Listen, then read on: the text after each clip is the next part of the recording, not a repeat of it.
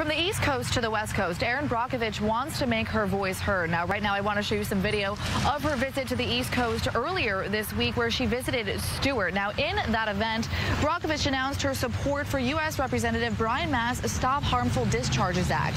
That bill would make the Army Corps consider public health and safety a priority when it comes to determining when and where to release the water from Lake O.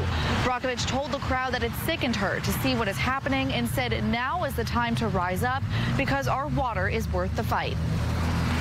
It's never left right, it's right wrong, and what's happening down here is simply wrong.